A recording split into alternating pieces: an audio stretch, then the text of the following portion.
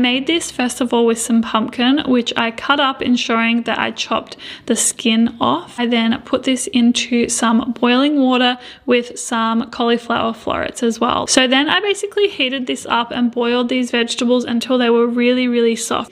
Then I drained these vegetables. So here I added in these vegetables, which you can see are really nice and soft. Then I also added in some tomato paste as well as some nutritional yeast, of course, my favorite, and also some garlic powder. Then I also added in some vegetable stock as well as some lemon juice and then I blended this all together. So then of course I cooked up some pasta. I poured the sauce over this cooked pasta, stirred it together and my goodness, it was delicious.